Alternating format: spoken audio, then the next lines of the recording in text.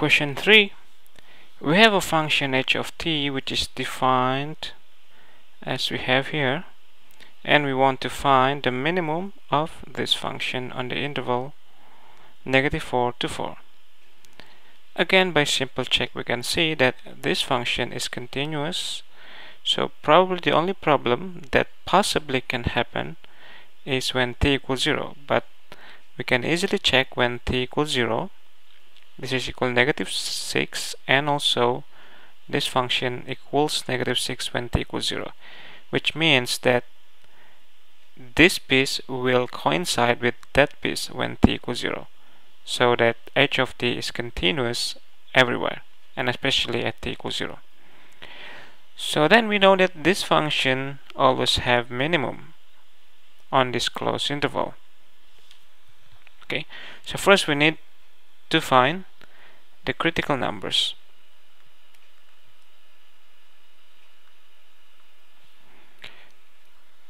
So if we take the derivative of this expression d over dt negative 6 plus let me write that as t to the 1 half then the derivative of this function is 1 half t to the negative 1 half or we can write it as 1 over 2 square root of t. And similarly the derivative with respect to t of the second piece of the function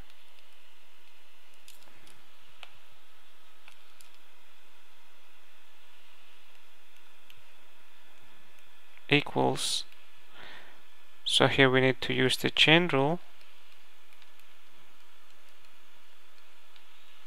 multiplied by the derivative of negative t and we can rewrite this as negative 1 over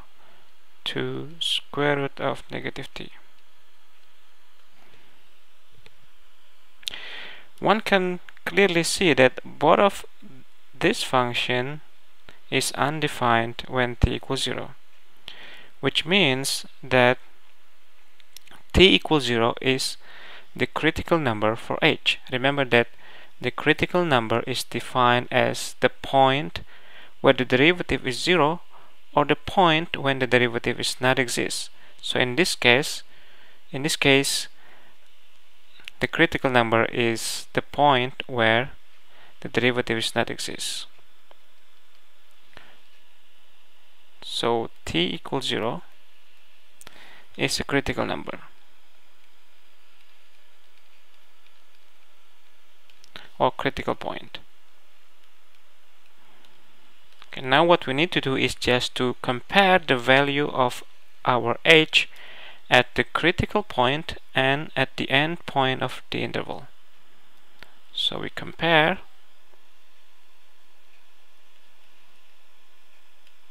h of 0 because 0 is a critical point. H of negative 4 because 4 and 4 are the endpoints of the interval of consideration. So let us let us check what is h of 0 by definition our h I'm sorry so by definition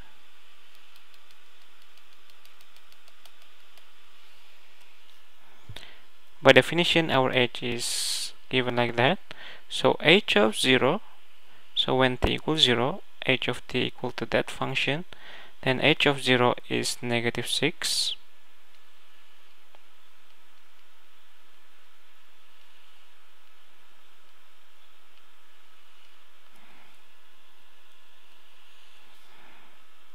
okay and also we also want to know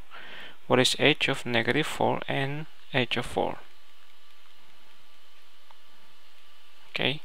so h of negative 4 since negative 4 less than 0 then we use this function. h of negative 4 will be negative 6 plus square root of negative of negative 4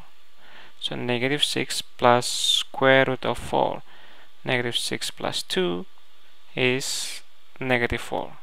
so h of negative 4 is 4 let us write over here first. And how about h of 4 4 is greater than 0 so we use this function. For t equals 4 then h of 4 is equal to negative 6 plus square root of 4 negative 6 plus 2 which is also negative 4 okay so both of 4 and the negative 4 give us negative 4 and what we are looking for here is the minimum or maximum the minimum of h of t. So then the minimum is occurred when t equals 0